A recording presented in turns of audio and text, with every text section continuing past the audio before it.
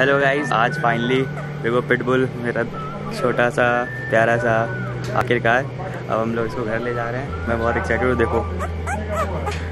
बहुत बहुत खुश हूँ मैं, ठीक है?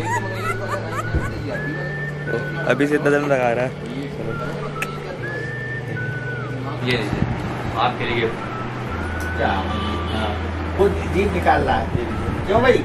हेलो पिटबुल है, सबसे अच्छा। इसीलिए इतनी मेहनत कर रहे हैं। निकाले देखो। तो पिटबुल अभी हम लोग ने ले लिया है और ये बहुत ही सही टाइम था लेने का, क्योंकि अभी हम लोग, सब लोग बहुत ही फ्री हैं। घर में सब लोग होते हैं, मम्मी, पापा, मैं।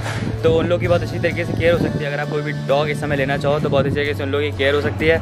और मेरा पिटबुल लेने का ये रीज़न था कि मुझको मस्कुलर डॉग बहुत पसंद है। बाना की पिटबुल बहुत ज़्यादा डेंजरस होते हैं पर वो आपकी ट्रेनिंग पे भी डिपेंड करता है कि आपने उसको कैसे ट्रेनिंग दी। जैसा कि मेरे पास पहले पहला डॉग था वो मेरा लेब्राडोर था। लेब्राडोर रिट्रीवर और अभी फिर उसके बाद रॉड व्हीलर लिया था। रॉड वाइलर भी बहुत ही डेंजरस कुत्ते होते हैं। हालाँकि मैं कई रॉड वाइलर कुत्तों से मिला हुआ हूँ लेकिन हमारी जो सीज़र है वो बहुत ज़्यादा फ्रेंडली है क्योंकि उसकी ट्रेनिंग बहुत अच्छी तरीके से हुई। जैसे कि अगर पिटबुल बहुत ज़्यादा डेंजरस होते हैं पर कोई दिक्कत नहीं है अभी मैं उसको बहुत अच्छी ट्रेनिंग देने वाला हूँ। तो फ्रेंडली रखो, कोई भी डॉग हो तो बहुत ही फ्रेंडली रखना चाहिए हर डॉग को। मीट करवाओ सारे डॉग से ह्यूमन से मीट करवाओ।